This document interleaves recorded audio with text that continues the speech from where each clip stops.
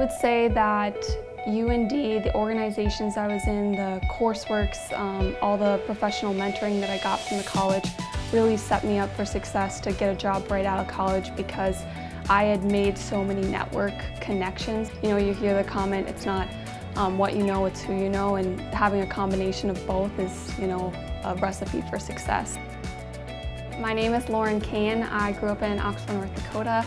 I got my double major in operation and supply chain management, marketing, and then a minor in professional selling. And I was really excited to be able to take a full-time job at Marvin Windows and Doors as a purchasing agent.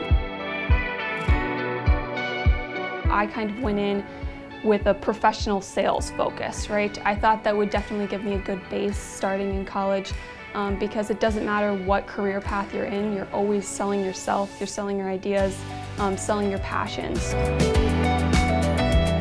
When I was at UND, um, I started off by getting a job at the UND um, Career Development Center.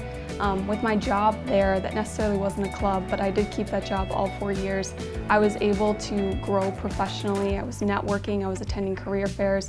I was in six different organizations during my time at UND. I was in UND Marketing Club, UND Supply Chain Club, UND um, Professional Business. Um, I was in Women in Business, I was in the UND Macaroon Society, and it kind of just goes on and on, but I definitely kept busy. Transition actually from, you know, college to real world has been super simple. It's actually almost more calm uh, because I'm not in all my clubs and classes and I can really just devote everything I'm doing to my job.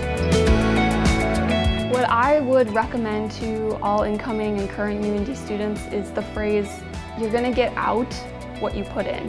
You know, joining clubs, joining, you know, participating in classes, um, joining different organizations even in the Grand Forks community is gonna make your college experience that much better.